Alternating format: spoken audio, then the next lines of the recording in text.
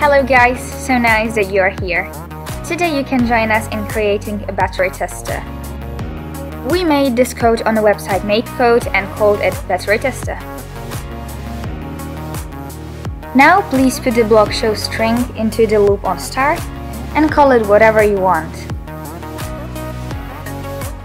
Open variables and create one. Pick the block set value to and then add the block from pins.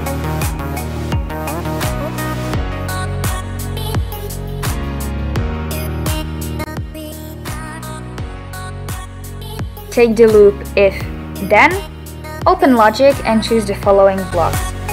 Change the figures.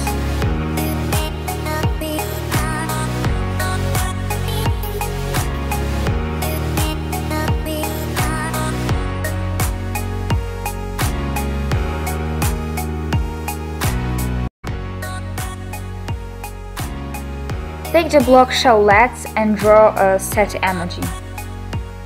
Duplicate the block and adjust it. Create different emojis and you are done.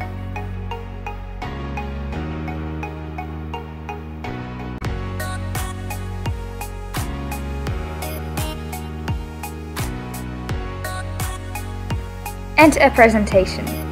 When the battery is empty, the display shows terrified emoji. When it's nearly empty, it's set.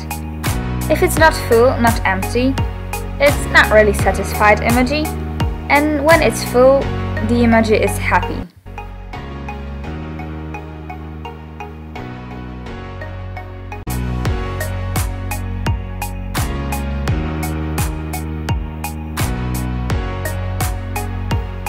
We hope you enjoyed our video and we'll be excited to see you here again.